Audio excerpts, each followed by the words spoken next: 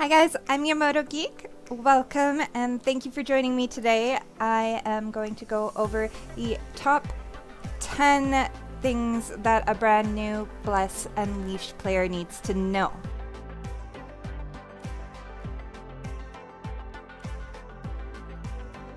First thing on the list, as soon as you get out of the tutorial, you're going to end up in this area called Marco's Farmstead. Now, there is going to be little side quests that you got to go see and people to talk to that's with these little symbols right here. By all means, go do that. Uh, what I would focus on first, to be honest, is gathering what's called Luminos and gathering uh, iron ore. So this is Luminos. It'll have like it'll look like a little bush it'll say gather. A couple of things with luminos it creates different kinds of potions i'll get into that in a little bit.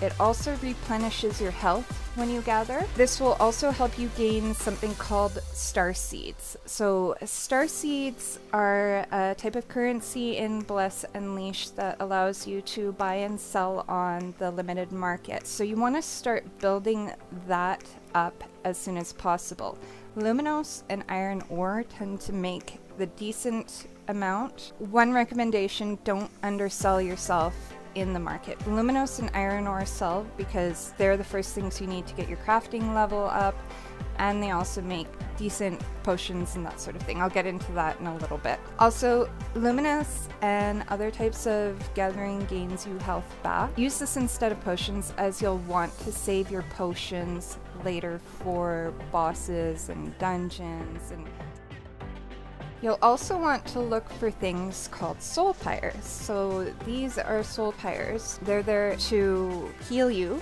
by just standing next. You can also use them and do a couple of things. So you can sit and share food. You can share this with other people. It gives different buffs like this raisin bread, for example, gathering, mining, logging speed, plus 5%, vegetable dumplings, critical hit rate, plus 3%, vegetable hot pot, 3000 hit point, over 15 seconds. Those are just a couple of examples of things that you can actually share with up to 20 other people. There's also something called cooking at the soul pyre. First thing that they're going to make you create is the salt grilled meat lunchbox. It restores 100 hit points every 2 seconds while out of combat for the last 20 seconds. These are good so if you're out on the field or doing whatever, you're not in combat and you have a few seconds to sit and eat and replenish your health, these are handy to have. Salvaging. As you go along, you're going to be defeating different mobs, and mobs are going to drop armor pieces. The armor pieces, they are good to create cores. I like to focus on the ones that aren't highlighted in white. So you see this wild shoulder armor, for example. The actual icon itself is a little darker than the other icons. It means that you cannot enhance it, and I don't find them overly useful other than maybe a temporary armor piece if I get something that's higher than what I currently have. The ones that show fortification level on can be enhanced. Those might be good to save and use for later on. I will get into more on enhancements in another video. You take the wild shoulder armor, for example, going to salvage it. So I'm going to press and hold A. It's created uh, armor fortification stone and 43 of the gold cores. So there's gold and silver cores. These are gotten from different levels of armor. Anything that is a white armor icon, those will only give you the silver cores. Anything that you get that's green, blue, purple, gold, you can actually turn into the gold cores, which you will need as you level up in armor. You're gonna see these icons, the little fire icon. Click in the right toggle on the map. You can actually go and select to find the different pyres. You see how they're highlighted in green now? There's a lot of them in and around the map. All you have to do is run by them and you've got them. If you happen to die while you're in a fight, there is three ways to revive. One is to allow another player to come and heal you. There is an incentive a title to get to heal people. So if you see somebody down, by all means, go heal them. There's going to be three different levels of healing level 1, 2, level 3. Level 1 is the quickest, that's going to be the fastest to heal, one and done. Level 3, normally if we're in the middle of a huge fight, I'm going to leave them just for the fact that it takes forever to revive them and it puts me at risk. If I get hit once, I have to start over again. Level 3 means that they've been killed and revived three times in a row without going back to a soul pyre. I would recommend after the second death that you go and choose to revive at a soul pyre rather than letting somebody heal you. That way, once you get to the soul pyre, you reset, you're good to go. Back to level one if you pass out again. You also have the option of using star seeds or recovery scrolls. I would avoid that unless you are fighting a boss or in a dungeon. Otherwise, just go back to the soul pyre. So the third option is going back to the soul pyre. It does charge you gold each time you do that. However, it will teleport you to the nearest soul pyre that you have passed by to recuperate. Once you're around the soul pyre to revive, um, you can go into your bag, consumables, and I always try and keep resurrection sickness potions on hand. Those are about 10,000 gold a piece, but it also eliminates the penalty that you get in resurrection. So the penalty basically means that you can only get up to 30% of your hit point once you die and revive near a pyre. With the resurrection sickness, that allows you to have up to 100% healing. You won't be healed, however, you don't have to wait the extra two minutes that it takes to get the extra 70% health available to you. World bosses and any icon that looks like this portrait marker will give you drop chests. Once you complete the drop chests, you can open them for extra little goodies. My bag is full right now, so I cannot open anything. So I'm going to get rid of something that I don't need. So gold ore, it's pretty, it's only useful for getting gold. So once you complete a world boss, you'll get these reward chests. Regional bosses respawn more frequently. World bosses are only about once a week. You can fight the world bosses multiple times. However, if you do not have that portrait icon, things that you will get from those boxes would be weapons, armor fortification stones, weapon fortification stones, extra little goodies that you would get from gathering, embers, armor sigil, and sometimes even sealed chest keys. This is from world bosses. These keep them, or you can sell them for a hefty sum of money, which brings me to the marketplace. Teleporters are a handy way to get around. You spend gold to get from one teleporter to another that you've already passed by. In order for them to work, you'd have to activate them. To activate them, all you have to do is walk near them. So right now, I'm going to go from Marco's homestead to where you are going to end up in Karzakor. These are what you would call star seeds. One of the first things to do in Karzakor is see Alvera.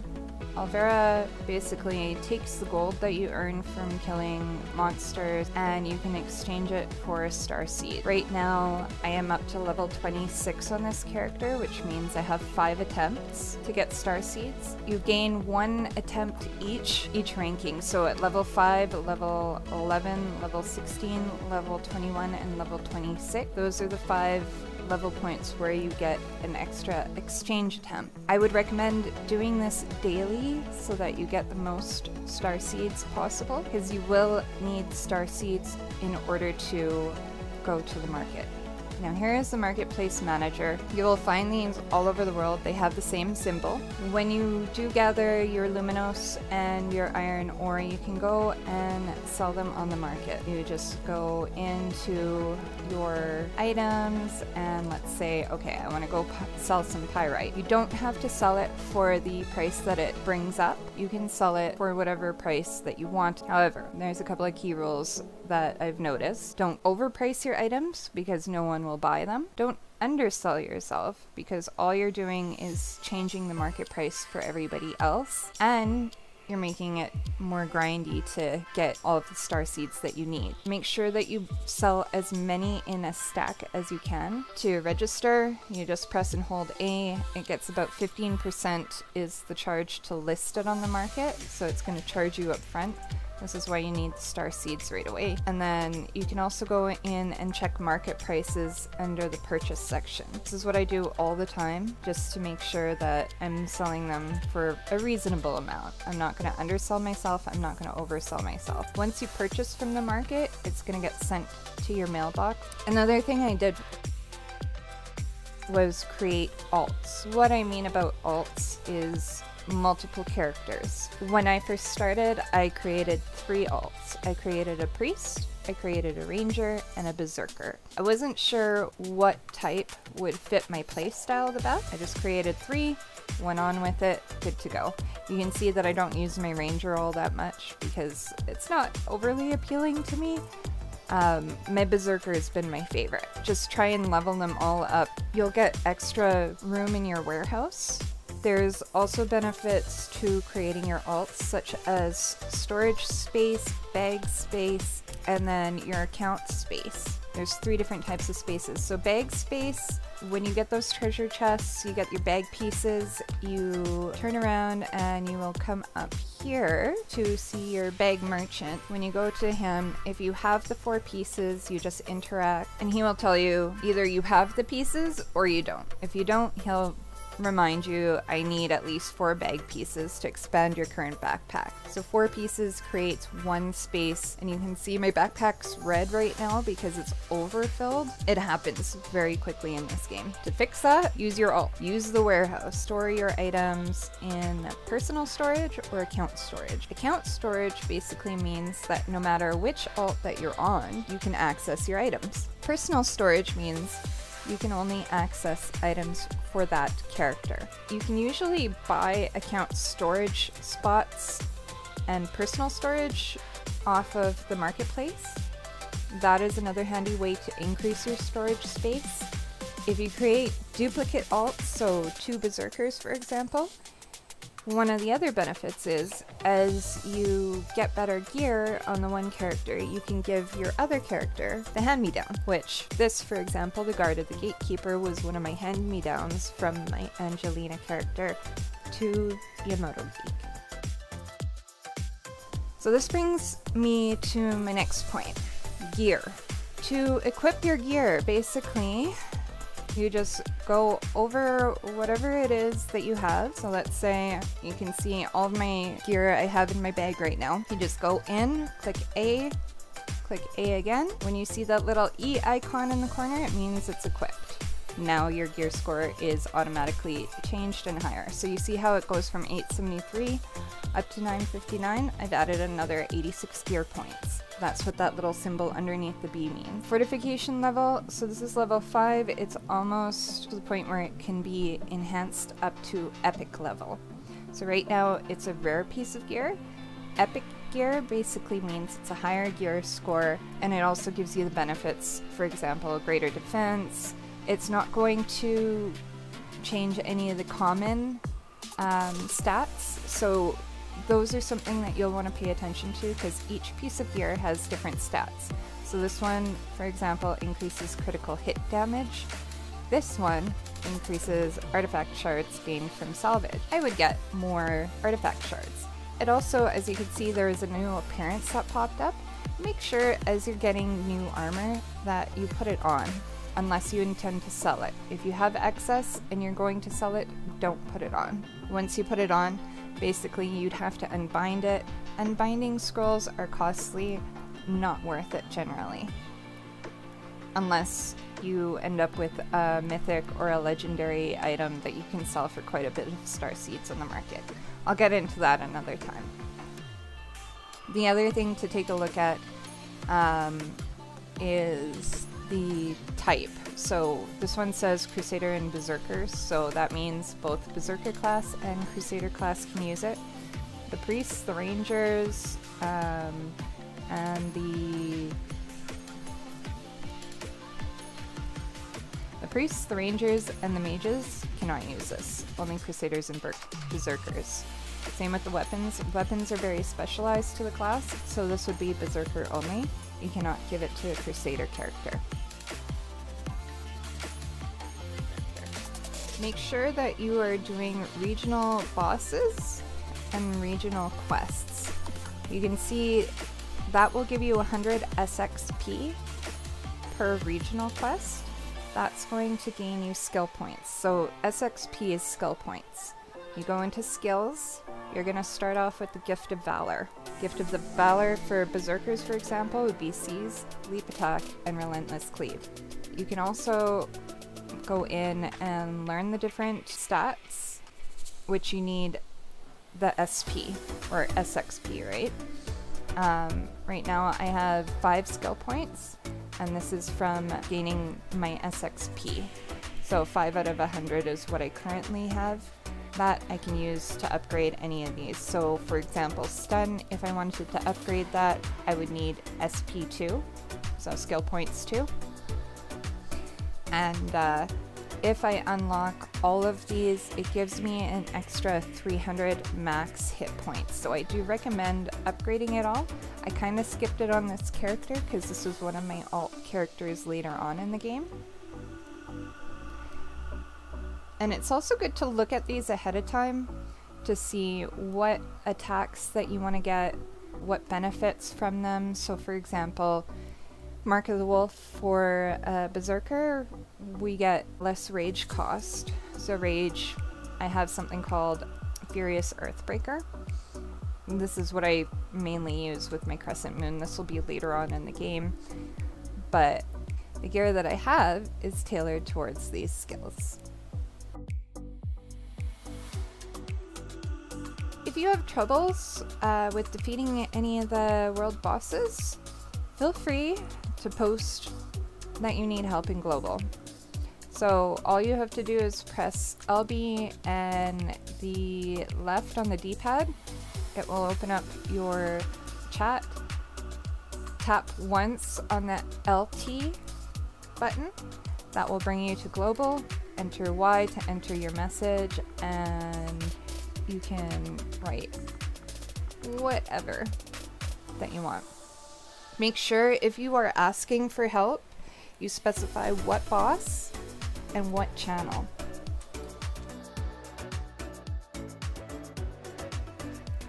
Channels are located on the bottom left portion of your map screen. To change the channels, you press and hold your L toggle switch. So you can change the channel to whichever one that you want. I recommend doing that just so that you can save time with trying to find a boss, because maybe they haven't spawned on one channel and they spawned on another. Feel free to switch channels, but if you need help, just like you see here, Bashal, channel 1, Barmy D is asking for help, essentially, or advising people that Bashal is up and free for the taking. If you do start on a world boss, it's always best to ask ahead of time before you even go and hit it. It's less selfish. It, allows other people the opportunity to get the boxes and equipment and goods that they need. One of the things one of the things in chat that you'll also notice is um, advertisements for guilds. Oftentimes, guild leaders will list that they're recruiting for new members what the requirements are and what they're looking for in the guild. So there's some new guilds or guilds for new players. There's guilds for more experienced players. So make sure that you're keeping an eye out on that. You can also start your own guild. All you have to do is go up to the guild registrar. I've already created a guild. I have the Moto Geeks, so it's not going to go into that. But if you create a team of your own, just make sure to keep in mind communication is very, very important.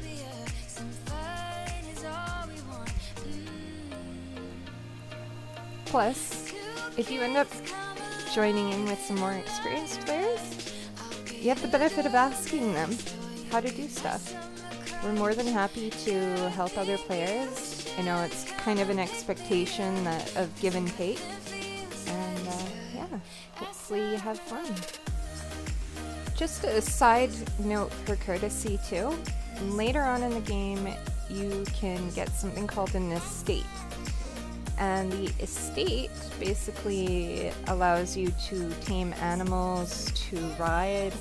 I would start early. Uh, you're going to start out with a white sheep.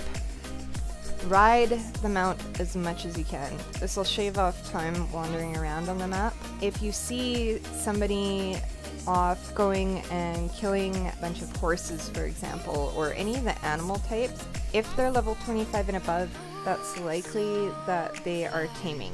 Try not to hit the same animals that they are hitting.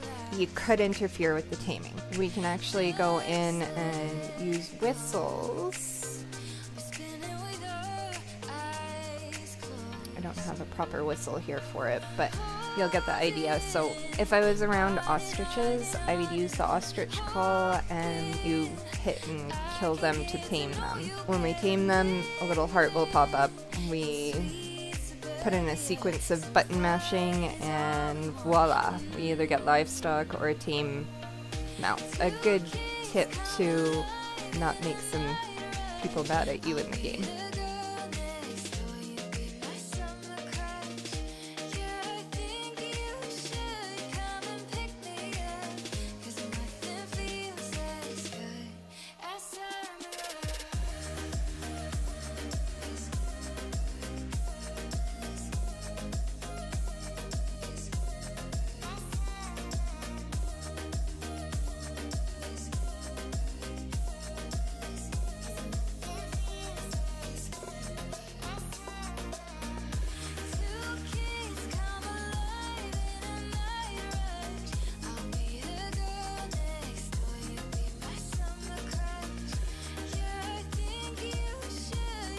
And that wraps up my top 10 beginner's guide for Bless Unleash.